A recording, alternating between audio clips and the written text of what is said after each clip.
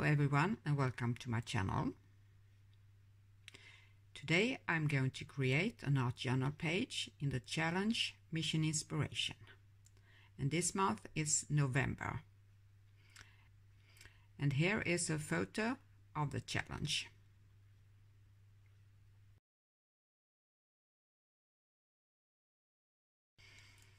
As you saw, we are going to use fibers so this is some cheesecloth I maybe use or thread.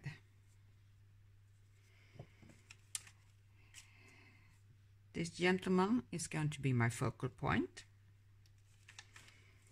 I found uh, this in a magazine, so I cut them out. Copper. This is almost copper, I think. It's not gold, it's more orange. This is a wrapping paper. Some blue colors, grid paper, and this is what I got in the mail a couple of weeks ago. I thought I would save it because of this image and some other things. But look.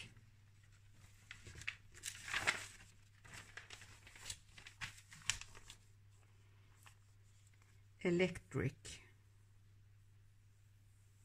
and the world. It says Green Earth 2050. So I think I would use that in some way. I will be working in my uh, homemade journal uh, deck of cards bound with discs so I can take them out and work on them. This page is for October Mission Inspiration.